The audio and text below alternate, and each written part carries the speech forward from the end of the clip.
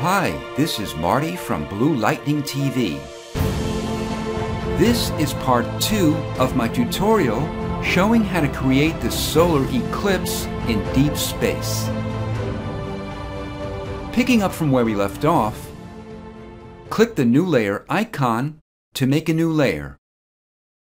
Control-click or Command-click on the thumbnail of Layer 1 to make a selection of its shape. Go to Select and Transform Selection. Click the chain link to link the width and the height. In either field, type in 200% and click the check mark at the top to accept it. Go to Edit and Stroke. Type in 75 for the width.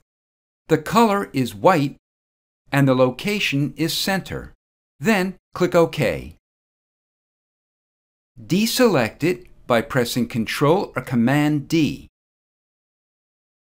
Go to Filter, Blur, and Gaussian Blur.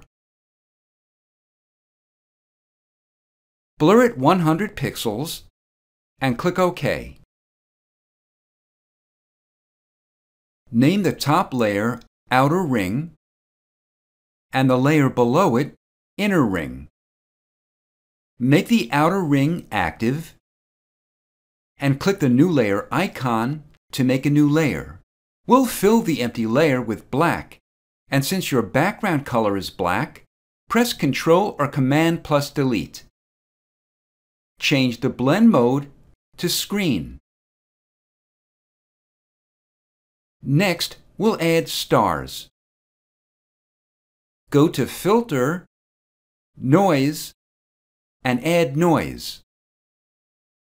Make the amount 10%, Gaussian, and monochromatic. Then click OK.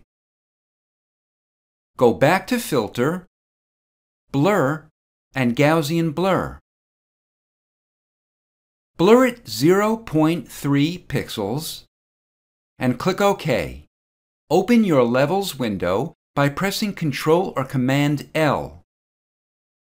Make the input black 27 and the input white 78. Then click OK. Reduce the star's opacity to 50%. The stars look very light now, but once we add the effects, they'll look a lot brighter. Next, we'll hide the stars in the central area. To do this, click the Layer Mask icon to make a layer mask next to the stars. We want black to be your foreground color, so invert the colors by pressing X on your keyboard. Enlarge your brush by pressing the right bracket key on your keyboard. Then brush in a circular motion over the center. Let's name this layer Stars. Click the New Layer icon to make a new layer. Go to Filter, Render, and Clouds. Go back to Filter, Render, and Difference Clouds. To intensify the effect, repeat the filter twice by pressing Ctrl or Command F twice. Change the blend mode to color dodge. Go to filter, blur, and radial blur. Make the amount 20, the blur method zoom, and the quality best. Next, we'll mask out the radial blur from the inside of the eclipse. Control-click or Command-click on the thumbnail of Layer 1 to make a selection of its shape. Click the Layer Mask icon to make a layer mask of the selection next to the radial blurred clouds. Presently, the clouds are inside the eclipse, not surrounding it, so to invert the effect, we need to invert the layer mask. To do this, press Ctrl or Command I. Next, we'll add adjustment layers to our image that will give it color and contrast. Make the outer ring active and click the adjustment layer icon. Click Color Lookup. This adjustment layer was first introduced in CS6. If you're working on an earlier version, play with a combination of color balance and hue saturation. I did an in-depth tutorial on color lookup, so if you'd like to watch it, I provided its link in my video's description or project files. Tick 3D LUT file and click the Load 3D LUT flyout presets. As you can see, there are many from which to choose. However, I'll be using two different color lookups to achieve the look for the solar eclipse. The first one is Edgy Amber 3DL. For the second one, I'll click back on the adjustment layer icon, click Color Lookup, open the flyout list, and click Crisp Warm Look.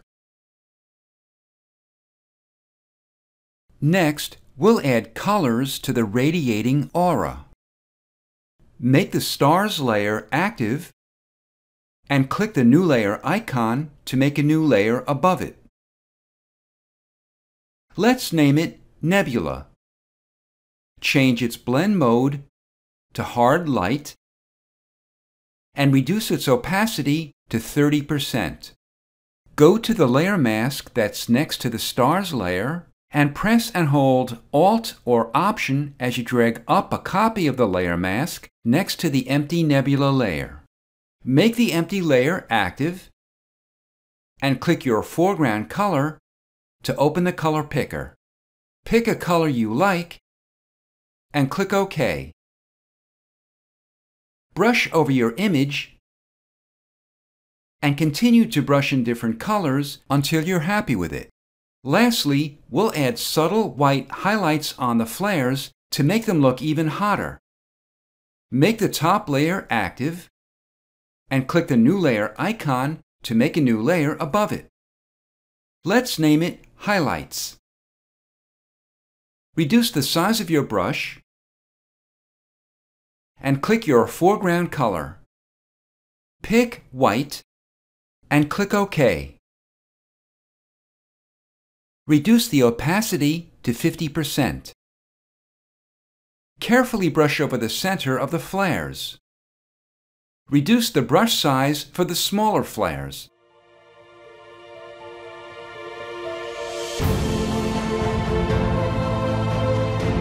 This is Marty from Blue Lightning TV. Thanks for watching.